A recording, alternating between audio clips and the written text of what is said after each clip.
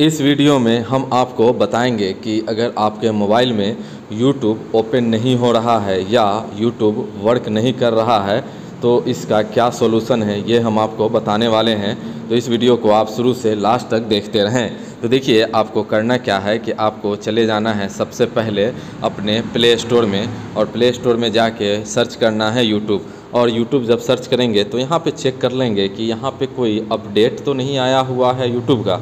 अगर कोई अपडेट आया होगा तो आप इसे अपडेट कर देंगे। इसके बाद आपको क्या करना है? बैक आ जाना है।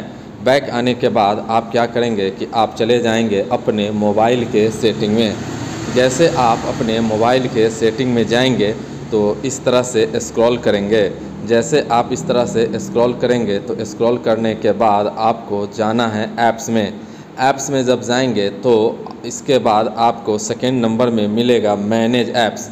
मैनेज ऐप्स में जब आप जाएँगे तो मैनेज ऐप्स में जाने के बाद यहाँ पे सर्च करना है यूट्यूब तो जैसे आप यूट्यूब सर्च करेंगे तो यहाँ पे आपको आ जाएगा क्लियर डाटा का ऑप्शन क्लियर कैच पे क्लिक करेंगे और फोर स्टॉप पे जाके फोर स्टॉप कर देंगे। इसके बाद आपको क्या करना है? स्टोरेज पे जाके क्लियर डाटा कर देना है यहाँ पे इस तरीके से। इसके बाद ऐप परमिशन पे जाना है और यहाँ से कैमरा के परमिशन को अलाउ कर देना है।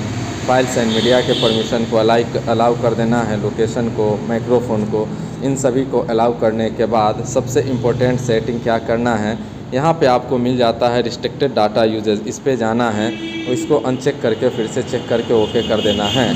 इसके बाद आपको क्या करना है, अपने मोबाइल को एक बार री कर देना है। रीस्टार्ट करने के बाद आपका यूट्यूब यहाँ पे वर्क भी करेगा और ओपन भी होगा और किसी तरह का कोई इशू देखने को नहीं मिलेगा। तो अगर यहाँ पे वीडियो आपको अच्छा लगे तो वीडियो को लाइक कर दीजिएगा और चैनल को सब्सक्राइब कर दीजिए।